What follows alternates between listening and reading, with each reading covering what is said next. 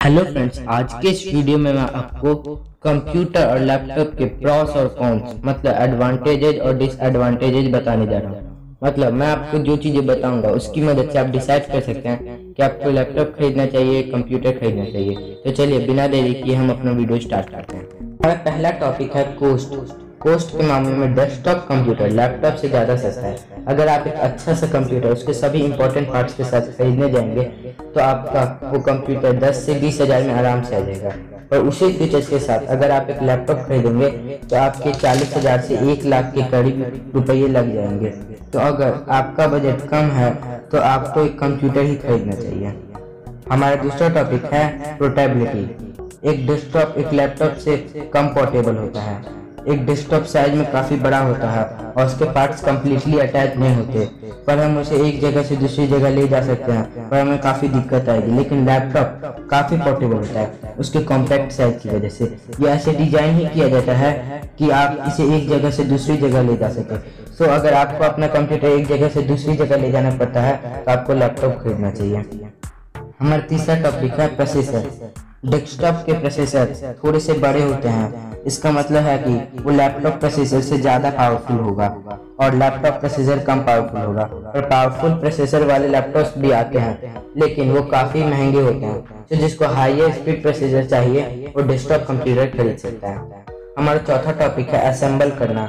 एक कंप्यूटर को असेंबल करना काफ़ी टाइम कंज्यूमिंग होता है। और जब आप एक कंप्यूटर स्टार्ट करते हैं तो ये काफ़ी देर के बाद स्टार्ट होता है।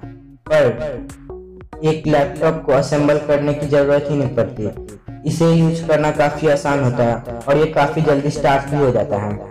हमारा पांचवा टॉपिक है रिपेयरिंग एक डेस्कटॉप कंप्यूटर को रिपेयर करना या करवाना काफ़ी इजी होता है।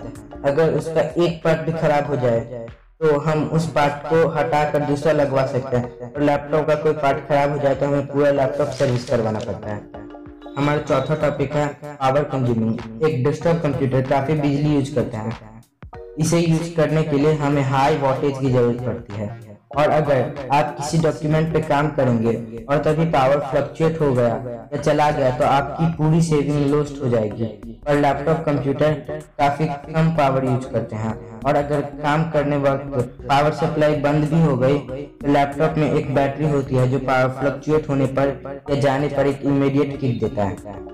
हमारा सातवां टॉपिक है अपग्रेडेशन कंप्यूटर के काफ़ी पार्ट्स रिमूवेबल होते हैं। तो अगर फ्यूचर में आपको कंप्यूटर अपग्रेड करना की ज़रूरत पड़ी तो आप काफ़ी आराम से उसे अपग्रेड कर सकते हैं। पर आपको अगर लैपटॉप अपग्रेड करना का मन है तो आप सिर्फ़ हार्ड ड्राइव और मेमोरी अपग्रेड करवा सकते हैं। पर अगर आपको दूसरे पार्ट भी अपग्रेड करवाना है तो आपको एक पूरा का पूरा नया लैपटॉप खरीदना होगा।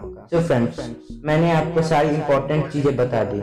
ताकि आप डिसाइड कर सकें कि आपको लैपटॉप लेना चाहिए या कंप्यूटर लेना चाहिए। सो so, अगर आपको मेरी ये वीडियो पसंद आई हो तो इसे लाइक ज़रूर कीजिएगा और वीडियो को शेयर भी कीजिएगा और मेरे चैनल को सब्सक्राइब करके बेल आइकन भी दबा दीजिएगा।